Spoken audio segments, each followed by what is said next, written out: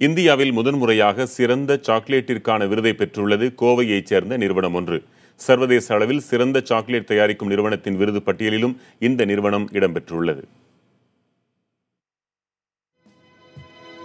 திருமண ஜோடிகள் கார்கள் அழகிய பூந்தொட்டி இசை கருவிகள் அழகான மணிமாலைகள் இவை அனைத்தும் சாக்லேட்டுகளால் உருவானவை.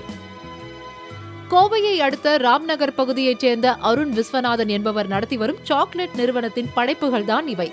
செயற்கை பொருட்களை சேர்க்காமல் நாட்டு சர்க்கரையை பயன்படுத்தியும் கேரளாவில் இருந்து வரவழைக்கப்படும் கோகோ பீன்ஸை கொண்டும் இங்கு சாக்லேட்டுகள் தயாரிக்கப்படுகின்றன. இந்த சாக்லேட் படைப்புகளை சர்வதேச அளவில் கொண்டு செல்லும் முயற்சியாக தைவானில் நடந்த ஆசிய அளவிலான போட்டியில் பங்கேற்ற இவரின் சாக்லேட்டுகள் இரண்டு விருதுகளை பெற்றன.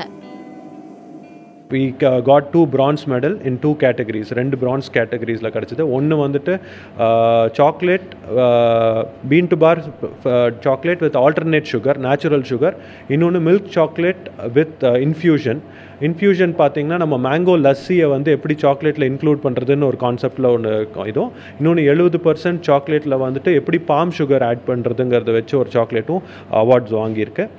இந்த சாக்லேட்ஸ் வந்துட்டு இப்போது வேர்ல்ட் ஃபைனல்ஸ்க்கும் செலக்ட் ஆயிருக்கு. இந்த சாக்லேட் அவார்ட்ஸ் பார்த்தீங்கன்னா இது வந்து ஏஷியா பெசிஃபிக் ரீஜனில் நம்ம வந்து first Indian chocolatier to get these awards இன்னும் சில மாதங்களில் இத்தாலியில் நடைபெறவுள்ள சர்வதேச சாக்லேட் தயாரிப்பு நிறுவன விருதுக்கான போட்டியிலும் கோவையைச் சேர்ந்த இந்த நிறுவனம் பங்கேற்க இருக்கிறது.